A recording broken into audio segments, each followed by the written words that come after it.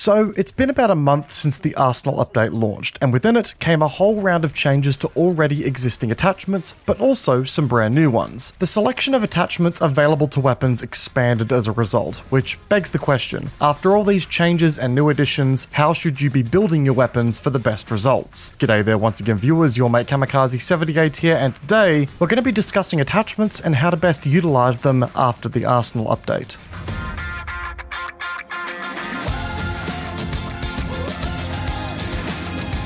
So I think it goes without saying that there's a lot of attachments in the game, some of which exist only on certain classes of weaponry and have drastically different impacts as a result. If we were to go through every attachment in the game and all the different use cases that are applied there, we're going to be here all day. So let's firstly establish the scope of this video and what will be involved. We are only going to be focusing on attachments that deal with weapon accuracy and handling. Minimal changes happen to things like soft point and high velocity ammo, you know, with the exception of them only being added to more more weaponry, and there's not really much point in going over things like underbarrel grenade launchers or dark light flashlights, as it misses the scope of this video. They don't necessarily affect weapon performance directly, only add utility to said weapon. In the update, the weapon attachments that impact weapon cone of fire values, recoil values, or anything of the sort saw the largest shakeups. That will be the focal point of today. Anytime you make a decision as to what attachment you're going to be running that has an impact on your weapon performance directly, it's an important thing to get right. Oh, and by the way, we're only going to be focusing on automatic and burst fire weapons here as well, gang. Scout rifles and weapons of the sort don't really need that much explaining at this level either. But okay, let's get things started with some of these attachments. We'll start off with the barrel attachments, and I want to get the most basic one here out of the way right quick, the compensator. The compensator probably has the easiest to decipher effect here in regards to working out where and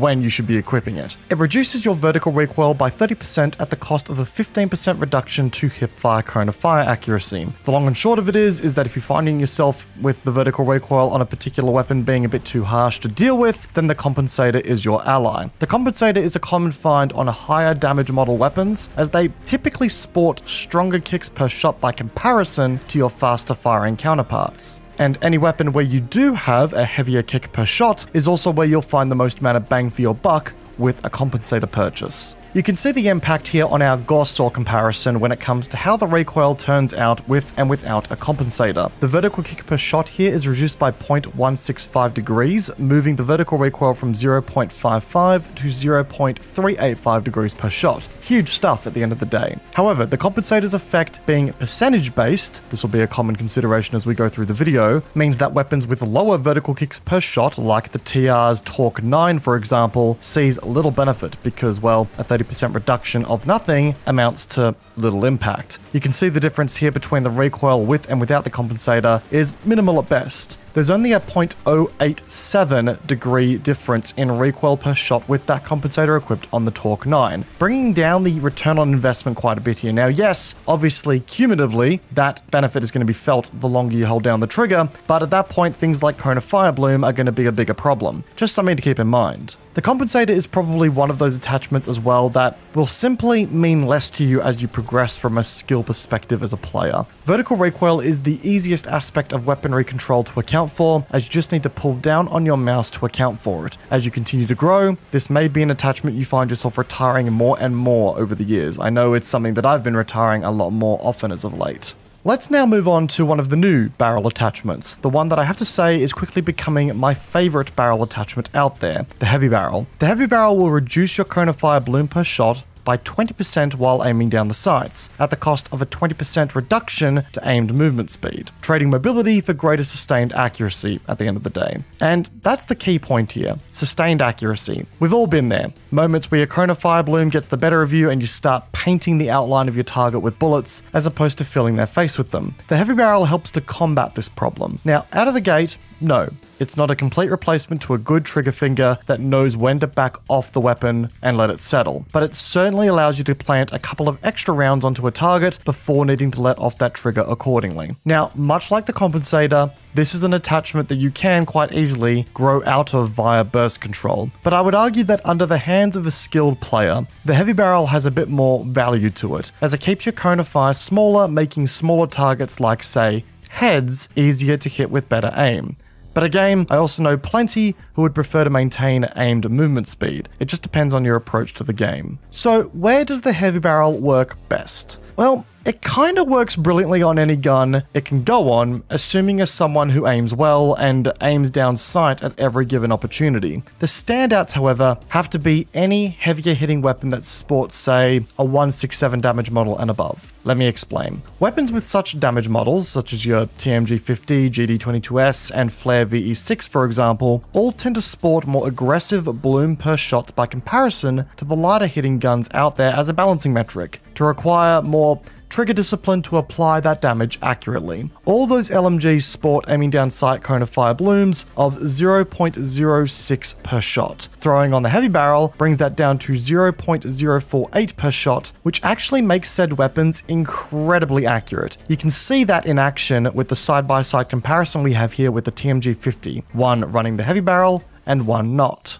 The same effect applies to weapons like the HC1 Cougar, EM6, and Pulsar C, all of which can also take the attachment and sport the same cone of fire bloom stats. So yeah, for those styles of weapons, where rate of fire isn't typically on your side and accuracy of your heavy hitting rounds is king, the heavy barrel does wonders. On the flip side though, there's something to be said about running it on faster firing weapons too. I've been using the heavy barrel on the Butcher a lot as of late, and the result is pretty solid, pushing the bloom per shot from 0.05 down to 0.04, which goes a long way cumulatively under sustained fire. Once again, note the comparison in bloom and how much tighter the spread is as a result. But okay, let's swing to the complete opposite side of the spectrum here, the short barrel. The short barrel reduces cone of fire bloom while hip firing by 40% at the cost of an increase to your vertical recoil by 20% while aiming. Now, let's be entirely honest with ourselves here. We already know where an attachment like this goes. On weapons that say, used to have access to advanced laser sights. While this attachment doesn't match the outright hipfire accuracy that the advanced laser sight brought to the party once upon a time, it without a doubt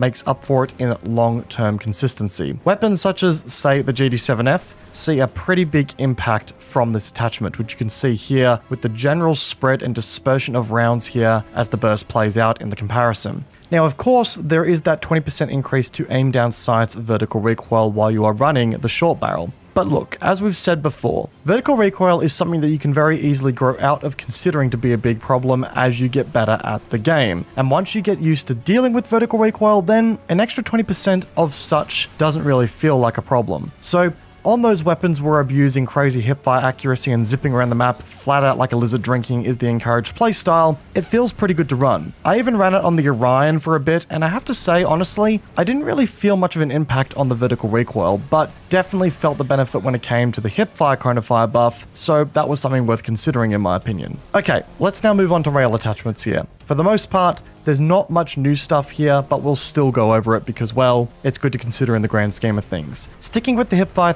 for a bit, the laser sight. It increases your base hipfire cone of fire accuracy by 33%. Pretty simple, and as we already said, works wonders with weapons that can also equip the short barrel. There's not really much else to this attachment that's worth going over here, so we're going to move on pretty quickly, but top tip for the day, in case people didn't know this, you can turn off your laser sight attachment, but still keep the benefits, just so you don't have to have that, you know, big obnoxious laser alerting enemies to your presence like the bat signal. But anyway, let's move on to the basic forward grip, a tried and tested attachment that many have sworn by for years, and for good reason. The forward grip reduces horizontal recoil by 25% at the cost of an increase to weapon swap time by 0.15 seconds, which honestly ain't such a big deal for the benefits that this attachment brings to some weapons. The 25% reduction encapsulates all elements of horizontal recoil control as far as I'm aware, impacting the intensity of each horizontal kick per shot, the horizontal tolerance that dictates how many times a weapon can kick in one direction before returning to center, and I'm pretty sure the recoil angle, if there is one, is affected as well, but I could be wrong about that. Either way, weapons with incredibly shaky recoil patterns see some pretty big benefits from such an attachment. I know that some combat medic and engineer players tend to steer clear of it due to how often you find yourself switching off your weapon to your support tools, and that weapon swap time kind of ends up being a pain in the ass considering how often you are swapping off and onto your weapon. But in my opinion, it's still worth considering the forward grip regardless because horizontal recoil is the random side of recoil in this game and it's a true bastard to tame as a result. You can see it here on the T9 CARV. The weapon sees a tighter correlation horizontally, giving you the ability to just focus a bit more on the vertical recoil and chain those headshots as needed.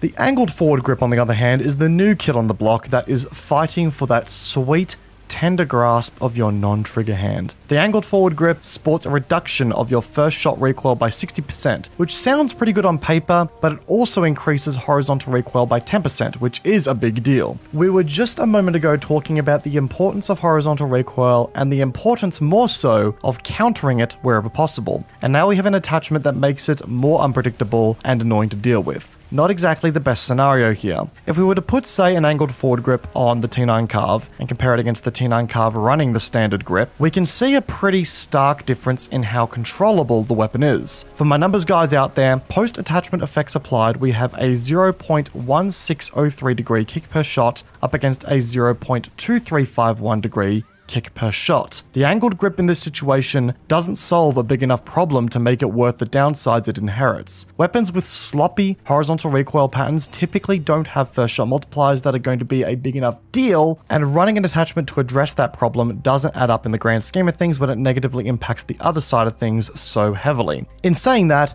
it isn't without its uses. Weapons with typically straight and narrow horizontal recoils with minimal shake even under longer bursts don't get punished as heavily by a 10% increase. Again, a percentage based increase of nothing typically amounts to a negligible end impact. So when we apply the angled forward grip to say the Gauss we see an increase in the horizontal recoil from 0.175 to 0.1925. And when you're dealing with a first shot recoil of 0.9075, well, the results can be pretty decent. On weapons that you see yourself tap firing a considerable amount, you'll see the angled grip serve a bit of use. I have to admit it's the attachment that sees the least amount of use from me right now, but on weapons where horizontal recoil is so minimal that it's absolutely something I don't even consider, like say the Saw or even the Gauss Prime, yeah, it's an attachment that I do run from time to time. There's also one more use for it, but I'll get to that in a second. Whew, alright, so you're still here?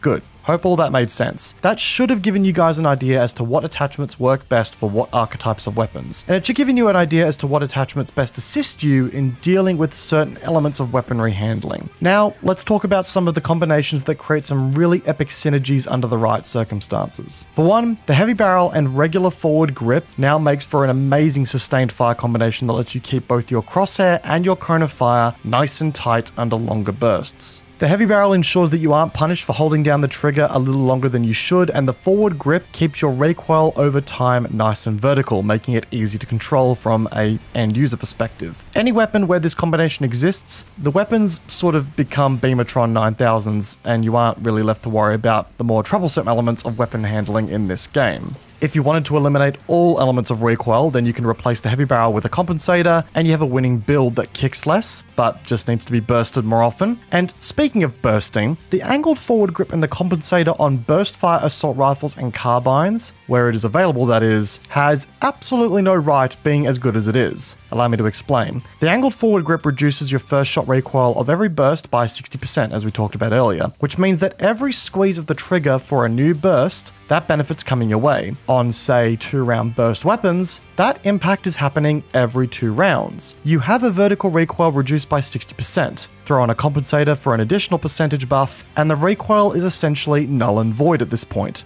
Oh, and the horizontal recoil on these burst fire weapons is typically well, it's about as hidden as the VS Cloaker on a capture point that has stabbed you one too many times. It's a true combination that dials burst fire weapons to 11 wherever it's available. The short barrel and laser sight is obvious, and we alluded to that earlier, so yeah, if you want to hip fire to victory, that's how you're going to do it. I'm not going to spend any more time on that combination. But folks, I now want to hear from you guys in the comment section down below. What are your thoughts on the attachment system in the game right now? What are some of your favorite attachments to throw on certain weapons? Let me know how much fun you've been having with it in the comment section down below. If you guys enjoyed the video, backhand the like button. It goes a long way to supporting the channel. And if you're new here, do me a favor, consider backhanding that subscribe button whilst you're at it, guys. It keeps you up to date with whenever we go live on YouTube here in the future and whenever we release a brand new video. If you want to support the channel further, consider a channel membership use the join button down below and have a look at our tiers. Hope you guys enjoyed today's video. Peace out, and I will see you guys all in the next one. Take care, guys. Have a good one.